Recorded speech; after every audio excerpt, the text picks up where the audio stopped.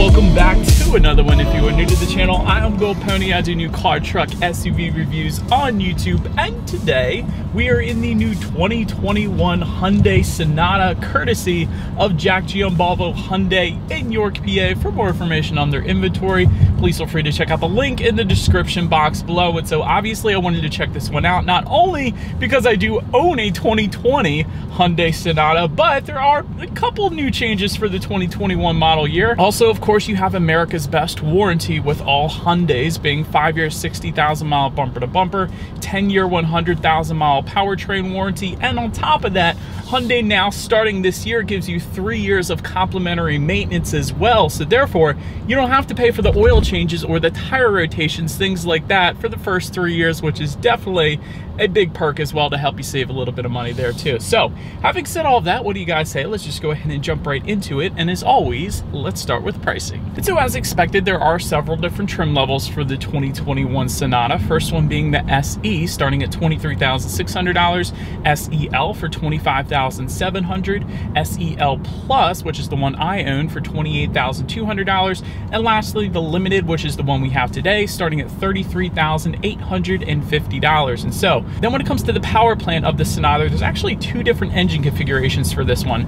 First one belonging to the SE trim and SEL trims, and that is going to be a 2.5 liter direct injected inline four cylinder. This one puts out 191 horsepower at 6,100 RPM, 181 pound-feet of torque available at 4,000 RPM, power sent to the front wheels through an 8-speed automatic, producing a 0 to 60 time coming in at approximately 7.9 seconds, with MPG numbers coming in at 28 in the city, 38 highway, taking regular unleaded fuel. But so then there is the other engine configuration belonging to the SEL Plus and Limited that we have today. This one is going to be a 1.6 liter turbocharged inline four cylinder, putting out 180 horsepower at 5,500 RPM, 195 pound-feet of torque available from the power band of 1500 to 4500 RPM. Once again, power sent to the front wheels through an 8-speed automatic with paddle shifters, and the paddle shifters do have a very smooth feel to them as well. Sometimes they're just simply black plastic, and that's boring, but I do like the paddle shifters on the Sonata, I will say that. 0 to 60 time for this engine configuration coming in at 7.3 seconds, with MPG numbers coming in at 27 in the city, 37 on the highway, taking regular unleaded fuel. However, I will say on my drive here, on my 15 to 20 mile drive here to Jack Giambalvo Hyundai, I did average 41.1 miles per gallon. So if you're doing mainly highway driving like I was, you can certainly get a little bit higher than that projected number there. So I wanted to mention that as well. But before we do the paddle shifter test or acceleration test here in our Sonata, I did want to mention there are some driving modes that do come standard on this one as well. And that driving mode kind of toggle switch is located just behind the drive buttons there. And they will include Eco, comfort, sport, and custom, adjusting things like the shift points, the throttle response, the steering sensitivity, and my favorite, the gauge cluster, at least if you go with the digital gauge cluster. And I'll get more into that later in the video, but I will say if you put it in that sport mode, the gauge cluster does kind of this explosion kind of look and then it goes to all red. It's super cool. One of the coolest gauge clusters out there if you ask me. And so, but having said all of that, what do you guys say? Let's go ahead and put it in that sport driving mode and let's find a straightaway and Let's see how quickly these paddle shifters we have here are going to react for us.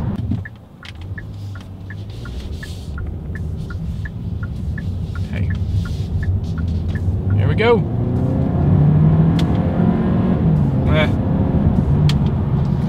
There is a slight, there's definitely a delay. I'm not gonna say it's a slight delay. There's definitely a delay when it comes to the paddle shifters. However, I will say when I hit the acceleration there, I like how the, the gauges on the RPM side of things are going backwards than the typical tachometer would be going clockwise. This one actually goes counterclockwise, so I think that's pretty cool. But anyways, to take it out of that full manual shift mode, just hit the D button or the drive button once again. That gives control back to the Sonata. And having said that, Let's find yet another straightaway and let's do a quick little acceleration test here and see how quickly the Sonata here can get us up to speed. All right, slight uphill acceleration, but here we go.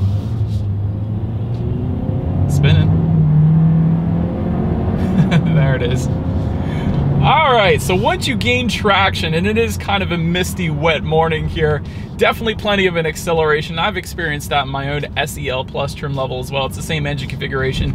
Definitely plenty of an acceleration for the Sonata without a doubt. You do get a little bit of torque steer if you are starting up from a dead stop, I will say that. Meaning it's a decent amount of power being sent to just the front wheel. So having said that, I wouldn't have minded an all-wheel drive system putting all that power to the ground, but still plenty of an acceleration for merging onto the highway or anything like that. But to go along with that acceleration, as always, braking is equally important. And so up front, you will find 12 inch ventilated front discs. In the back, 11.8 inch solid rear disc. When it comes to that 60 0 stopping distance, that is going to come in at 121 feet, which is definitely respectable. A lot of sedans come in in the mid 120s or even upper 120s. So 121 feet is perfectly fine for the Sonata. When it comes to the braking feel, brakes actually do bite quite well. So definitely no issues with any brake pedal delay or anything like that. I've been perfectly fine with the braking feel in this thing.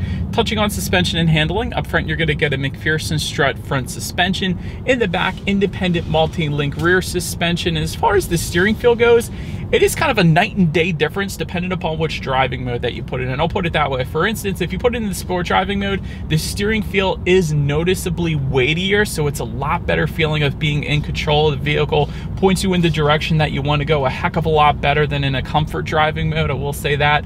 But also, if you didn't want the acceleration to go with that better steering feel, in my opinion, you can actually tailor the custom driving mode to just make the steering feel a little bit weightier and make the acceleration and comfort comfort mode. So you can kind of mix and match there with that custom driving mode. And that's typically what I do in my own personal Hyundai Sonata because I don't necessarily need all that constant acceleration, but I do always want that heavier steering feel. I will say that. So that's what I do. But anyways, as far as ride quality goes, it's not the very best that I've tested, but it's certainly not bad. It's pretty much as expected for the Hyundai Sonata. So no issues there for me either. When it comes to cabin noise, I will say once you hit about 50 miles per hour, you get a little bit of wind noise coming into the cabin. But again, it's nothing to really annoy you or anything like that. It's pretty much as expected. Not quite as quiet as some of its competitors. Certainly not as quiet as Hyundai's luxury brand Genesis, but Still, I did want to mention it is there slightly at higher speeds, but other than that, you're perfectly fine. Then touching on visibility, you can definitely see perfectly fine out the back. Absolutely no issues whatsoever when it comes to visibility. You're usually not going to run into that in sedans anyways, but I did want to mention in addition to that, along those lines, I am looking at a head-up display right now, which is pretty freaking cool.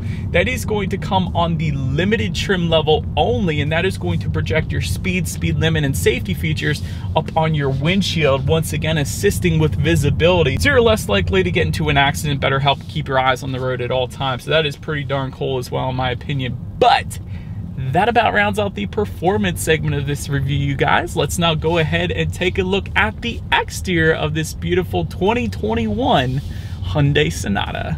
All right, so here she is, you guys, the new 2021 Hyundai Sonata finished in Hampton Gray. The only color that may be better than this is glowing yellow, but Hampton Gray is definitely one of the best colors on the Hyundai Sonata. But anyways, let's go ahead and start up front on this one. First thing I wanted to mention is the front fascia is going to differ slightly amongst the trim levels. For example, you will find a body colored front lip with a chrome horizontal bar if you were to go with the SE trim level gloss black front lip with the gloss black front grille if you were to go with the SEL trim level and up. LED headlights actually coming standard on every single trim level across the board. And of course, they will come with the automatic feature as well, meaning when it starts to get dark out at night, they will turn on automatically for you there. Automatic high beams also coming standard across the board along with LED daytime running lights as well. And that's one of the coolest things about the Sonata. Let me show you guys the LED daytime running lights. You can see they're at the bottom portion of the headlight there, but then when they come around, they actually go up onto the hood and then slowly fade out. It's a very unique, very original design that you don't see on any other car out there right now. So that's definitely one of the things I love about the Hyundai Sonata. It definitely differentiates itself from the competitors in the segment just because of that alone. Anyways, you guys can see down towards the bottom there, you do have some front air curtains helping direct air around the wheel and tire combination, a little better aerodynamics there. And yet another cool feature that kind of gets overlooked with the Sonata is it does have a very low hood line, I will say that. Kind of makes for a more aggressive appearance up front. So love the front end. And when I say front fascia at the beginning, it's gonna differentiate. You see that gloss black front lip there? That is going to be on the limited SEL and SEL Plus trim levels. However, you're gonna get that body colored front lip with a chrome horizontal bar going across the front. It doesn't look as aggressive as this particular setup, but it is gonna differ slightly, so I wanted to mention that. But now let's go ahead and make our way to the side of the Sonata now. All right, so once again, I've climbed in the woods for you guys to get a little better shot of the side profile of this one. Chrome window surrounds do come standard on every single trim level across the board. However, actually, let me climb out of the woods for a second here. I wanted to show you guys something. When it comes to these pillars in between the windows here, this is actually a matte black finish that you're gonna find on every single trim level with the exception of the SEL Plus, which is going to make it a gloss black finish, which I think I might like a little better. I feel like this matte black might fade over time. I don't know. So either way, I really don't have any issues with either setup, but I do want to bet you it is going to differ slightly amongst the trim levels yet again. Then take a look down at the bottom portion of the Sonata there. You will find gloss black side skirts that will come standard on every single trim level across the board.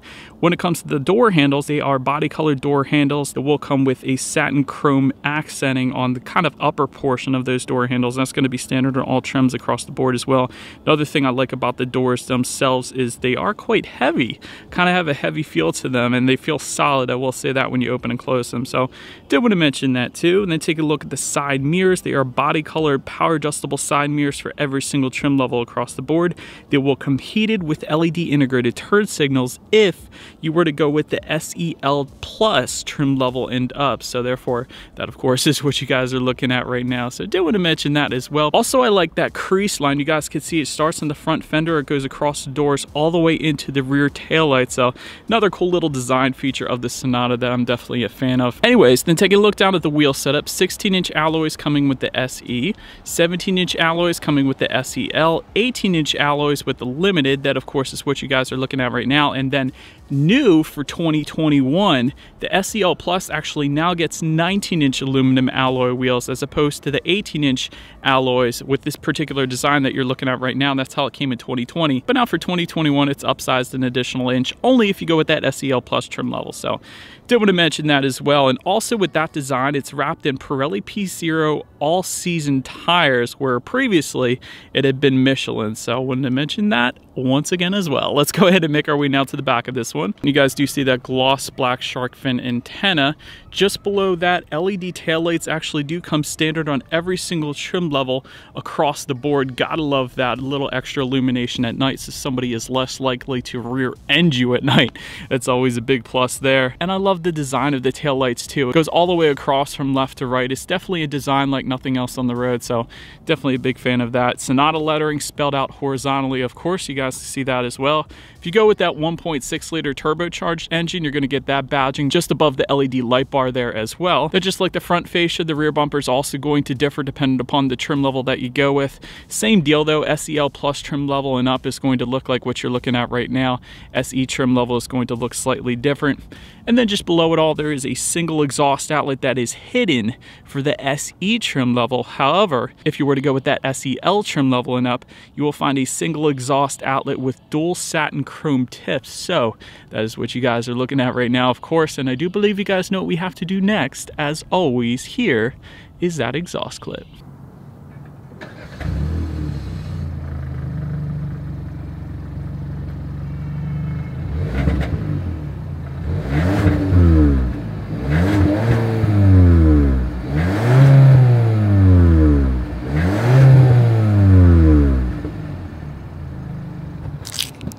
So, but now since we are around back, when it comes to opening that rear trunk, this is actually pretty darn cool, you guys. There's actually a button on the key fob that's pretty much as expected these days. Also a button by the driver's side left knee, but there are two super cool ways to go ahead and open that rear trunk. The first way is going to be hidden within the Hyundai logo, the upper portion of that Hyundai logo.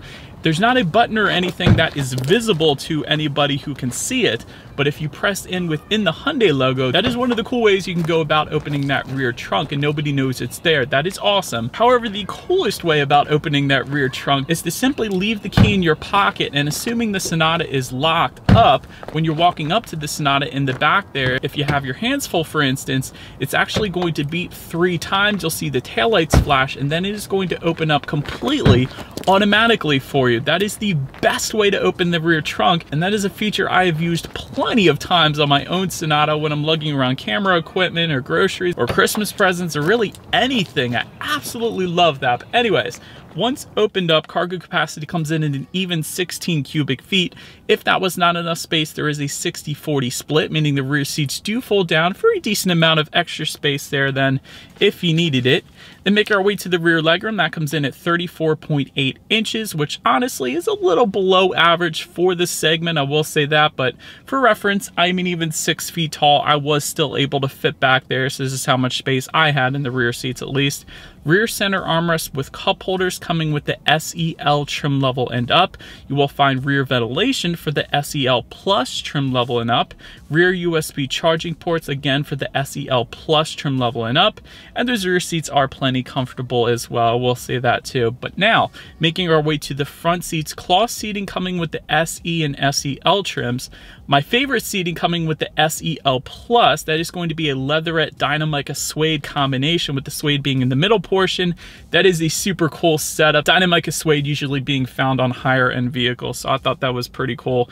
And of course you have full leather seating if you were to go with this limited trim level that we have today. And having said that, I think the full leather seating might be a little more comfortable than the Dinamica suede combination because the second I jumped in this one, I was like, dang, these seats are super comfortable compared to what I got. But anyways, manually adjustable front seats coming with the SE. The SEL trim level is going to add an eight-way power driver seat with power lumbar. Those front seats will be heated as well with the SEL trim level and up. Limited trim then is going to add a six-way power adjustable passenger seat. In addition to that, ventilated front seats actually as well. And overall, like I said, the seats are super comfy. Really, no matter which trim level that you go with, there's no issues with seat comfort whatsoever. Then take a look at the steering wheel. It is tilt and telescoping, of course. It is leather wrapped if you were to go with the SEL Plus trim level and up, then that leather wrap steering wheel is going to be optional on the SEL if you wanted it. Heated steering wheel coming with the limited. I've had that on in my short drive today. I absolutely love that. Grips also are going to differ slightly amongst the trim levels, believe it or not. The SEL Plus trim level and down is going to give you slightly thinner grips than the limited trim level that we have today. Maybe that's because it's heated, I don't know, but the grips are going to be, the 10 and 2 grips I should say, are going to be slightly thicker in the limited trim comparatively speaking to the other trim levels. So I wanted to mention that as well. But so then making our way to this startup, let me first start by showing you guys the key here. You do have your Hyundai logo. Forgive the stickers in front of that though, but there is a Hyundai logo on the one side. When you flip it over, all of your buttons essentially lock, unlock the button to pop the rear hatch. There is also the circular button that says hold at the very bottom. That is going to be your remote start, which I have on my SEL Plus. Also, it's going to be on the limited. There is a push button start for the SEL trim level and up. There's also then a digital key as well as a key card. So there's several different ways you can go ahead and start this one up. The key card works just like the digital key that you use on your smartphone. Essentially, you hold it up to the door handle. It's going to unlock and lock, by the way. Then you put it on this NFC slot right here in front of the drive buttons, and that is how you're going to be able to start this one up and turn it off, of course, as well. So it's kind of a cool option if you didn't want to carry your keys around maybe, or perhaps you lose your keys in Ocean City, Maryland in the ocean or something. You always have backups so that's pretty cool too. And the last thing I wanted to mention to you guys on the key fob, perhaps the very coolest feature about this one, I'm sure everybody's seen the commercials or Smart Park, essentially those car icons with the P buttons. That is going to be your smart park option where you can pull the car forward or backwards. This is going to be useful if you're parking perhaps and somebody parks a little too close to you and you don't feel like crawling in through the trunk in order to get to the driver's seat. Simply just use this. The car is going to back out itself with nobody in the car so therefore you can actually get in it a lot easier. So that is a pretty darn cool feature if you ask me. But anyways, and also with that, I wanted to mention to you guys, if there's an object or a person that gets in the way of that smart park feature, it actually will turn away from that object or person and it is going to brake as well. So if you're worried about it actually hitting somebody or something inadvertently, it is not going to do that. And that is a pretty cool feature there as well. But anyways, let's now go ahead and make our way to the gauge. This is pretty freaking cool as well.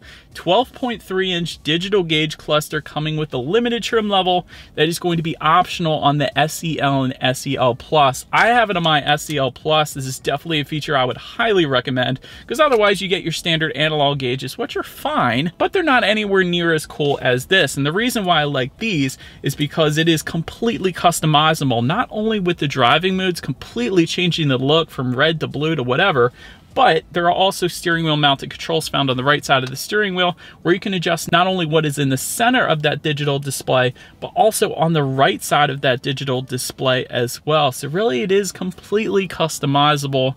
That is why I absolutely love this digital gauge cluster. It's one of the best in my personal opinion, but let's now go ahead and make our way to overall interior quality. There is a panoramic sunroof coming with the Limited that is going to be optional on the SEL Plus trim level, letting in so much more light for this video, so I'm appreciative. LED interior lighting coming with the Limited, again optional on the SEL and SEL Plus auto dimming rear view mirror with home HomeLink controls coming standard on the SEL Plus trim level and limited. Love that feature. Wireless phone charger coming with the SEL Plus trim level and up. Again, that's located just in front of the drive button, so you don't have to plug your phone in. It's going to automatically charge, assuming that your phone is compatible, of course. Ambient lighting with 64 different color choices coming with the limited trim level only. I would have loved to have seen that on the SEL Plus, but we do have it here today, and that's pretty stinking cool too. Dual zone climate control with the SEL trim level and up. You'll find aluminum foot pedals on the SEL Plus trim level only. I have that, and I absolutely love it, actually. It's a pretty cool look down there. Anyways, when it comes to overall interior quality, whenever I look up or read certain reviews on the Sonata, it's really a mixed bag, but in my personal opinion, I definitely tend to think it is among the best. And there's several reasons for that. One of them is the air vents. The air vents are very sleek, a very nice design to them, and that's pretty cool. And also there's gonna be aluminum finishes to the exterior portion of those air vents, where usually you find a continuation of the black plastic. So that's a little bit different than you see in other vehicles as well. But typically where you find the most hard plastics in vehicles are gonna be just around around the shifter and the cup holders. And with the Sonata though, it's a nice smooth gloss black finish around the shifter or the shift buttons, I should say. And then there is a nice gray kind of diamond pattern design around the cup holders where typically other manufacturers will leave that just a flat gray and it's gonna be boring. So that's the reason why I believe the Sonata is a little bit above average when it comes to interior quality at least. And you do have some nice leather finishes on the doors as well, at least in our limited trim level. You're not gonna get that in the other trims, but I do like that as well. Aluminum trim found on the doors that continues just above the passenger side glove box and below the infotainment screen as well. Also some nice gloss black finishes around the climate control settings. There's a 12 volt power outlet in front of the shift buttons, USB charging ports times two. Again, that wireless phone charger. There's an electromechanical parking brake found by the driver's side left knee dual cup holders, a little slot to put yourself in when you're not charging it up front within those cup holders. And within the center armrest, there's a decent amount of storage in there as well. So overall, I actually really like the interior quality of the Sonata, so no issues for me whatsoever there. But now, let's make our way to the tech screen, which is going to differ again amongst the trim levels. 8-inch color touchscreen display coming with the SE, SEL, and SEL Plus trim levels. However, if you're ready to go with that limited trim, you will get a 10 and a quarter inch color touchscreen display. That's going to be optional, by the way, on the SEL Plus, but Either way, you still get Bluetooth and audio streaming. You still get Android Auto, Apple CarPlay. There's going to be a factory navigation system for the 10 and a quarter inch screen only also an ambient sound feature, which is stinking cool for the 10 and a quarter inch screen only once again. I'll let you guys hear that in a second here, but essentially there you get to choose from different sounds like lively forest as we are in right now, calm sea waves, rainy day, open air cafe, warm fireplace, and snowy village. So without further ado, I'm actually gonna let you guys listen to those sounds because I think it's stinking cool. So go ahead and take a listen and I'll be back in a couple seconds here.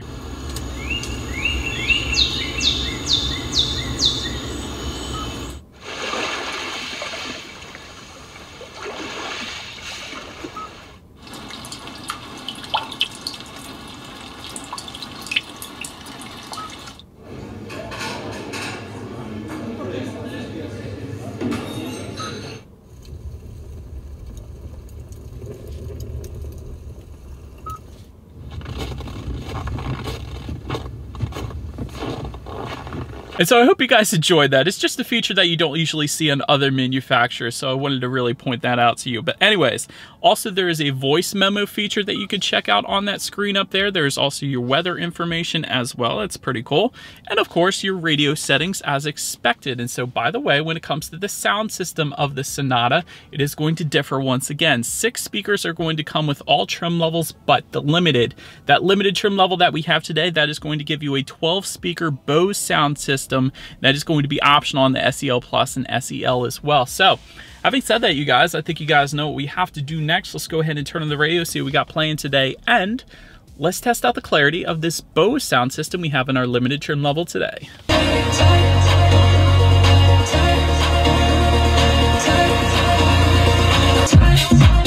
I could stop listening to it. It's absolutely amazing. It really is, honestly, a night and day difference between the six speaker to the 12 speaker sound system because I have the six speaker in my SEL Plus. There's actually a decent amount of bass with that particular six speaker sound system on the Sonata, but this 12 speaker, it's just a completely different level. It's definitely definitely a sound system I would recommend. If you can afford the limited trim level and you like music, definitely go with that one. But anyways, Last thing I wanted to mention to you guys on that text screen at least is when you do put the Sonata in reverse, you will find a rear view camera coming standard across the board. Every single trim level is going to get that. But if you were to go with the limited that we have today, you will also get a surround view monitor, so a bird's eye view so you can see every single angle around you which as always is going to lead us into safety. And so first thing I wanted to mention when it comes to the Sonata, of course, this is an IIHS top safety pick. So that's really a heck of a start to begin with. Front side side curtain airbags do come standard, driver's side knee airbag as well. In the back, you're gonna have latch, AKA lower anchors and tethers for children for the rear car seats, rear child door locks back there as well, tire pressure monitoring system. That's all pretty boring at this point. But some of the more exciting advanced safety features that do indeed come standard across the board will include forward collision avoidance assist with pedestrian detection, lane keep assist, lane following assist, driver attention warning system, adaptive cruise control with stop and go, there's rear occupant alert and high beam assist, as well. And all of these features are super cool. The adaptive cruise control system is amazing on this thing. High beam assist is super convenient as well. This is my first car that I've ever had that had that. That's pretty cool. Lane keep assist is one of the best systems when it comes to all Hyundais really, comparatively speaking to a lot of the other manufacturers out there. So wanted to mention that too after driving 500 and some different cars. I wanted to tell you guys that. SEL trim level and up is going to, in addition to that, add a blind spot monitor with rear cross traffic alert, as well as safe exit warning too. And then the limited trim level and up is going to add parking collision avoidance assist, blind spot view monitor, which is where it actually shows you what is in your blind spot within that digital gauge cluster. That's a pretty cool feature.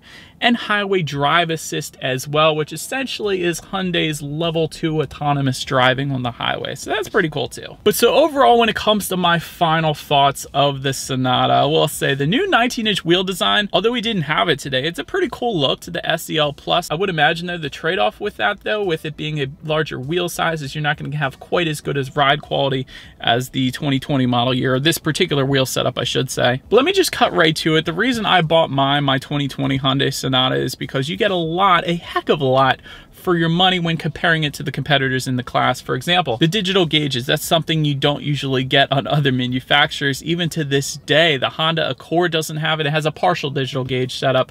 Toyota Camry doesn't have it. So I love the digital gauges on the Sonata. Wireless phone chargers a plus. You get great styling. You get a digital key, which you don't get with the competition as well. So, and I've used that before. It's definitely pretty darn cool if you don't want to lug around your keys all day. So I like that feature. Of course, you have America's best warranty warranty. So if you're questioning the reliability of the direct injected turbocharged engine we have here, you get it warranted for 10 years. And by that time, you're probably gonna want a new car anyway. So that's what I love about this thing. Even if you don't 100% trust the reliability quite yet, you can trust the warranty at least. So that's pretty cool too. Three years free maintenance, five years free roadside assistance.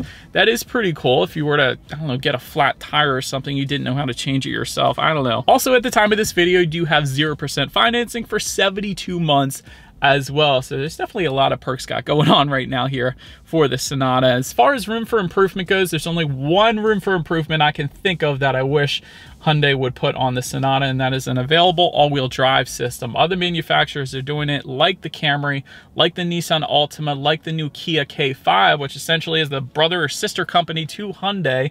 I'm really surprised that Hyundai hasn't put an available all-wheel drive system on the Sonata quite yet, just because the Kia K5 now has it available. So maybe the future it's coming, I don't know, but that is about it for this one, you guys. Hope you got some valuable information out of this video. Feel free to follow me on the social media at the bottom of the screen there if you like. Be sure to hit the subscribe and the bell notification button. If you're into new car reviews, that is what we do here on this channel after all.